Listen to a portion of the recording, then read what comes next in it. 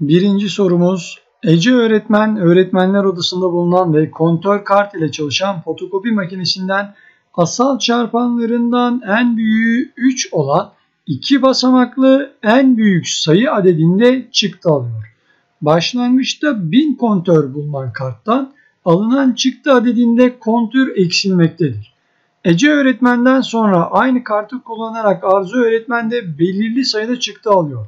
İki öğretmenin çıktılarını aldıktan sonra kartta kalan kontör sayısı 832 olduğuna göre Arzu öğretmenin aldığı çıktı sayısının asal çarpanlarına ayrılmış biçimi aşağıdakilerden hangisidir?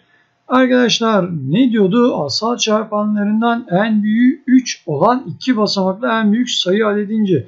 Dolayısıyla asal çarpanlarından en büyüğü 3 olduğuna göre 2 olabilir, 3 olabilir. Bakın 3'ten büyük herhangi bir asal içermemesi gerekiyor. 2 ve 3 çarpanlarını içeren iki basamaklı en büyük sayıya ulaşmaya çalışacağız. Burada üstlerinizi deneyerek gidebilirsiniz arkadaşlar. Mesela buraya 2 üzeri 5, 3 üzeri 1 dediğimizde 32 çarpı 3'ten 96 gelir ki bu elde edebileceğimiz en büyük iki basamaklı sayıdır. Bunu şu şekilde de yapabilirsiniz. 2 ve 3 çarpan olduğu için hem 2'ye hem de 3'e bölünebilen sayılar aynı zamanda 6'ya da bölünebilen sayılardır. Yüzden geriye doğru düşündüğünüzde arkadaşlar 6'nın katı olan sayı yine 96 vardır. Burayı da kullanabilirsiniz.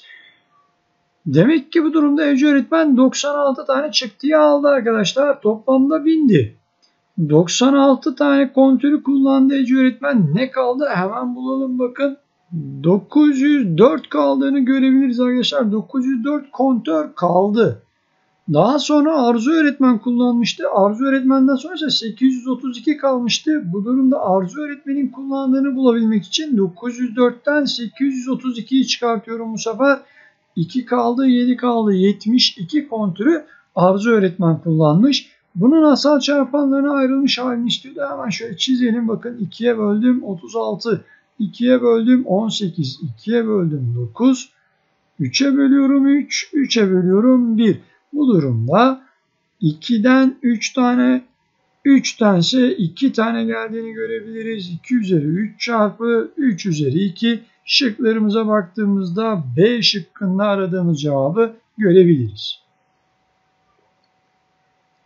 İkinci sorumuz Mehtap beton bir zemine birden 20'ye kadar numaralandırılmış ardışık kutular çiziyor. Tek ayağı üzerinde sıçrayarak kutuların en başından en sonuna kadar gitmek için bir numaralı kutudan başlıyor. Ancak her kutuda kutudaki sayının pozitif bölenleri sayısı kadar ayak değiştiriyor. Örneğin 12 numaralı kutuya sağ ayağı girdiyse 12'nin pozitif bölenleri 1, 2, 3, 4, 6, 12 olmak üzere 6 tane olduğu için bakın sağ, sol, sağ, sol, sağ, sol, sağ şeklinde en son 6 adet olduğu için 6. da tekrar sağ ayağa çıkmış. Kutuda 6 defa ayak değiştirmiştir. Buna göre Mehtap'ın kaç tane kutuda kutuya girdiği ayakla kutudan çıktığı ayak farklıdır. Arkadaşlar çarpan sayımız 6 tane idi. 6 tane çift bir sayıdır. Bakın sağla girmiş sağ ayağıyla çıkmış 6 çiftli. Bakın 1 olsaydı mesela tek sayı sağdan sola geçmiş olacaktı. 3 olsaydı sağdan sola geçmiş olacaktı. 5 olsaydı sağdan sola geçmiş olacaktı. Yani bizim aradığımız şey çarpan sayısının tek olduğu sayıları bulmak arkadaşlar. Birden 20'ye kadar olan sayıların içerisinde pozitif çarpan sayısı tek olan durumlar nasıl bulunacaktır? Hepsini tek tek deneyecek miyiz? Arkadaşlar pozitif çarpan sayısının tek olması demek sayının bir tam kare olması demektir. Bu ne demektir? E, birden 20'ye kadar var olan sayılar nelerdir tam kare? 1.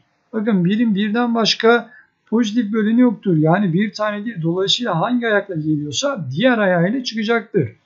2'nin karesi 4. Arkadaşlar 1, 2, 4 bunun pozitif çarpanlıdır. Yani 3 tanedir. Dolayısıyla yine tek sayıdır. 9 3'ün karesi 1, 3 ve 9 olmak üzere yine 3 tane olduğunu görebiliriz. 16 4'ün karesi 1, 2, 4, 8 ve 16 olmak üzere 1, 2, 3, 4, 5 tanedir diyebilirsiniz arkadaşlar.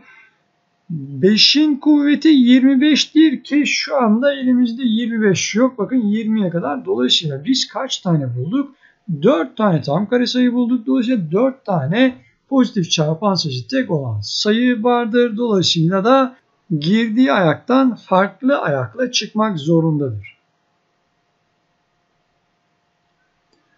Üçüncü sorumuz Sevgi Hanım kare şeklindeki mutfak duvarına aşağıda kesim noktalarının ölçüleri verilen iki farklı duvar kağıdını her sırada aynı tip duvar kağıdı olacak şekilde görseldeki gibi kaplayacaktır.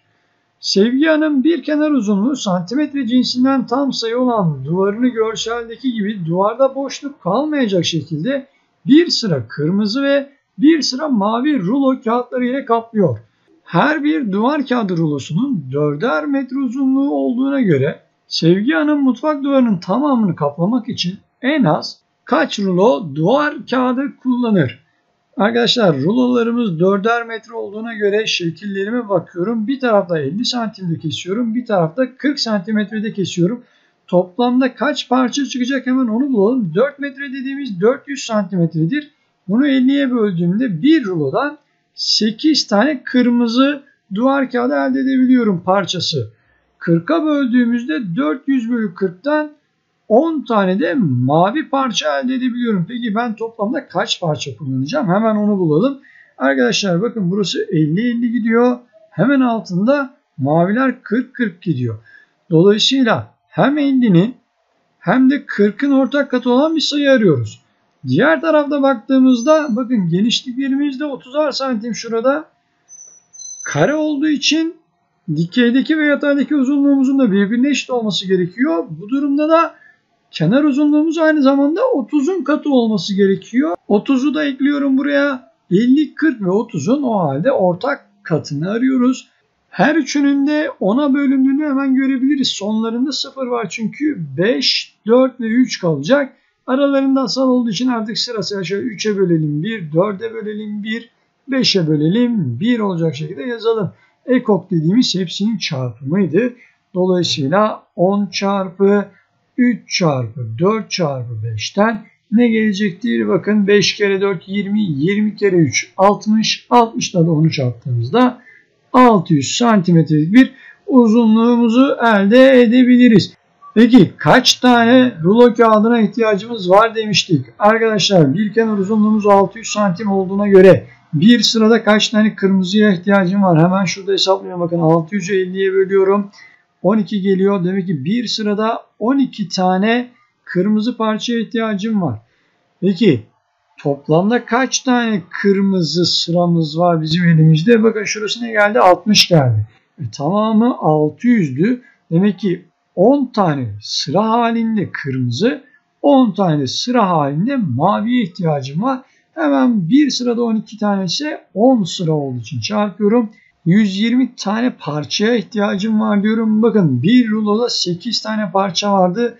Dolayısıyla 120 tane parça için bunu da tekrar bölüyorum. 15 tane ruloya ihtiyacımız varmış kırmızı için. Mavi için geliyorum hemen arkadaşlar. 600'ü 40'a bölüyorum. Her biri 40 santimetreydi. Buradan 15 tane parça gelecek.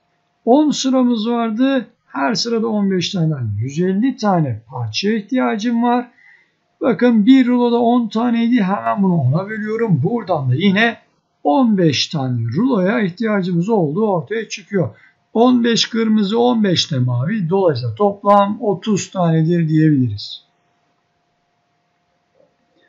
Dördüncü sorumuz Abdullah Bey aşağıda ölçüleri verilen dikdörtgen şeklindeki mermeri en büyük alanlı karesel parçalara ayırmıştır. Sonra elde ettiği karesel parçaların tamamını aralarda boşluk bırakmadan aşağıdaki gibi dizerek parçalar arasında dikdörtgen biçimde bir dikim alanı oluşturuyor. Buna göre Abdullah Bey'in bahçesinde oluşturduğu bu dikdörtgen şeklindeki çiçek dikim alanı için en az kaç tane karesel parça kullanmıştır? Arkadaşlar bir taraf 100 santim bir taraf 240 santim biz karesel parçalara ayıracağız. Kare demek ne demekti? Bütün kenarları birbirine eşit olacak. Yani hem dikeyde hem yatayda eşit olacak. Dolayısıyla hem 240'ı hem de yüzü bölecek en büyük uzunluğumuzu bulalım. Bakın sonlarında 0 var hemen ona bölelim. 24'e 10 gelecek. Çift sayılar 2'ye bölüyorum. 12'ye 5 gelecek. 12 ve 5'in başka ortak böleni yoktur. Dolayısıyla EBOB'umuz 10 kere 2'den 20'dir. Yani bizim şurada yapacağımız parçalamalarda her bir karenin bir kenar uzunluğu 20 santimetre olacak. Peki kaç tane parça oluşur? Arkadaşlar 240'ı 20'ye böldüğümüzde 12 tane parça oluşur. 100'ü e, 20'ye böldüğümüzde de 5 tane sıra oluşur. Her bir sırada 12 parçadan toplam 12 çarpı 5 60 tane parça oluşur. Dolayısıyla tamamını dikdörtgen şeklindeki bahçemizin etrafına dizebiliriz. Beşinci sorumuz aşağıda bir manavda birer kilogramlık paketler halinde satılan meyveler ve fiyatlar verilmiştir. 1 kilogram armutun 5 lira olduğunu, 1 kilogram elmanın 3 lira olduğunu, 1 kilogram portakalın 4 lira olduğunu görüyoruz. Bu manava giden Şifa ve Ayça'nın alışveriş bilgileri aşağıdaki gibidir. Şifa A liralık, Ayça B liralık elma almıştır. Şifa B liralık, Ayça C liralık portakal almıştır. Şifa A liralık, Ayça C liralık armut almıştır. Her ikisinin de aldıkları meyveler tam paketlerden oluştuğuna göre Ayça'nın aldığı meyvelerin toplam kütlesi Şifa'nın aldığı meyvelerin toplam kütlesinden en az kaç kilogram fazladır? Hemen arkadaşlar kaçar kilogram aldıklarını bulalım. Bakın şuraya şifa diyelim. Ayça diyelim. Elmadan ne kadar aldılar? Şifa A liralık aldığına göre elmanın kilosu 3 lira. A bölü 3 kilogram elma almıştır. Ayça B liralık aldığına göre B bölü 3 kilogram almıştır. Devam ediyorum. İkinci sırada portakalım var. Bakın B liralık aldı şifa. Dolayısıyla B bölü ne diyeceğiz? 4 liradan B bölü 4 kilogram alacaktır. Ayça'ya geliyorum. C liralık aldığına göre C bölü 4 kilogram portakal alacaktır. Son olarak armudu inceliyorum arkadaşlar. Armut 5 liraydı. A liralık aldığımıza göre A bölü 5 kilogram alacak şifa.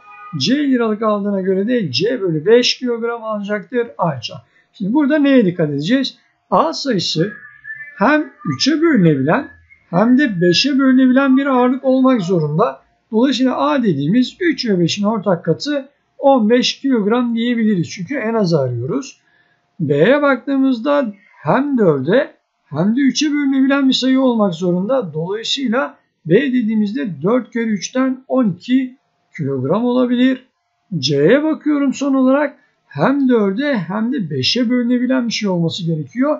Bu durumda 4 ve 5'in ortak katı en küçük ortak katı 20 kilogramdır diyoruz.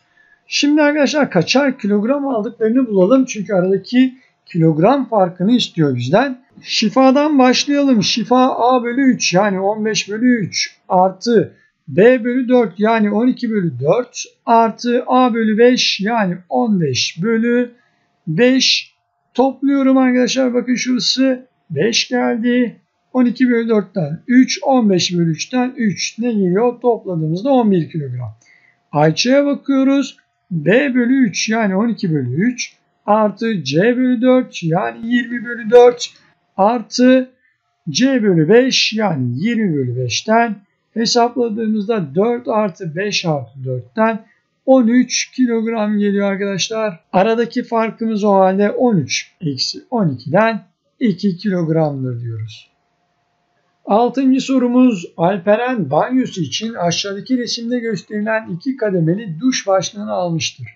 Bu duş başlığı birinci kademede 4 dakikada 5 üzeri 3 santimetre küp, ikinci kademede 5 dakikada 6 santimetre küp su akıtmaktadır. Alperen duşa girdiğinde duş başlığında birinci kademeyi, ev arkadaşı Berk duşa girdiğinde duş başlığında ikinci kademeyi açmaktadır. Alperen ve Berk'in duşta kaldığı sürelerin eşit ve dakika cinsinden 50'den küçük tam sayı olduğu bilinmektedir. Alperen ve Berk'in duşta kaldığı sürelerde kullandıkları su miktarları santimetre küp cinsinden birer tam sayı olduğuna göre kullandıkları su miktarları toplamı kaç santimetre küptür? Biri 4, biri 5 dakikaydı. Dolayısıyla eşit süre olması için 4 ve 5 dakikanın ortak katını arıyorum. En küçük ortak katı 4 kere 5'ten 20 dakikadır burası. Dolayısıyla 50'den küçük olması için 20 olabilir, 40 dakika olabilir. Daha fazlası olamaz. Ne kadar su harcayacaklarını bulalım arkadaşlar. 40 dakika içerisinde bakın 40 bölü 4'ten 10 kat olacak. Her 4 dakikada bir 5'ti. Çarptığımızda 50 cm küp gelecek Alperen için. İkinci kademede Berk var.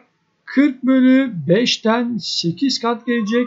Her bir 5 e, dakikada 6 cm küptü. Çarptığımızda da 48 cm küp su harcamış olacak. O halde toplamlarını istiyoruz. 50, 48 daha 98 cm küp bulabiliriz. Yedinci sorumuz aşağıda bir alışveriş merkezinde yan yana bulunan iki fast food restoranında mutfaktan satış noktasında açılan mini pencereler gösterilmiştir. A restoranında 3 adet, B restoranında ise 4 adet mavi pencere bulunmaktadır. Görselden de görebilirsiniz. A restoranında her pencereye aynı anda 5 tane hamburger, B restoranında ise 6 tane hamburger konulabilmektedir. Her defasında pencerelere maksimum sayıda hamburger konulmaktadır. Hemen şunu yazalım arkadaşlar. 3 pencere vardı. Her pencereye 5 tane konuluyordu. 15 tane hamburger koyuyoruz o zaman A restoranı için. B restoranı için bakıyorum. 4 pencere var. Her birine 6 tane koyduk. 24 tane hamburgerimiz aynı anda bulunabilecekler. Pazar günü iki restoranda da yapılan hamburger satışlarından elde edilen gelirler birbirine eşit ve her biri 2500 liradan azdır. Buna göre pazar günü iki restoranda satılan hamburger sayısı kaçtır diyor. Arkadaşlar bakın 15 taneden A restoranında 12 liradan satılıyordu. Hepsini sattığımızda 15 kere 12'den 180 lira gelir alacağız. 24 tane vardı. Her birini 10 liradan sattığımızda 240 liralık bir gelirimiz olacak. Peki bunların birbirine eşit ve 2500'den az olacak şekilde ortak katı nedir? Hemen onu bulalım. 180 ve 240'ın ortak katını arıyoruz. Hemen 60'a böleyim. 3 ve 4 geliyor. 3 ve 4 aralarında asalları 3'e böldüm. 1, 4'e böldüm. 1 geldi. Dolayısıyla ekok dediğimiz 60 çarpı 3 çarpı 4'ten 720 TL gelecek arkadaşlar. Eşit olan miktarımız 720. Ama 2500'den az olduğuna göre daha da bunu arttıralım. 2 katını aldığımızda 1440 yapar. 3 katını aldığımızda 2160 TL yapar. Ama 4 katını aldığımızda 2800 lira çıkıyor. 2500'den fazladır. Hala istediğimiz fiyat 2160. Kaç tane sattığımıza bakacağız arkadaşlar. 2160'ı 12'ye böldüğümüzde 180 tane hamburger sattığımız ortaya çıkacaktır. 2160'ı 10'a böldüğümüzde de 216 tane hamburger sattığımızı görebilirsiniz. Toplamını istiyor demiştik. Topladığımız zaman bunları 396 tane hafta sonu hamburger satışı yapılmıştır. Cevabımız D şıkkıdır.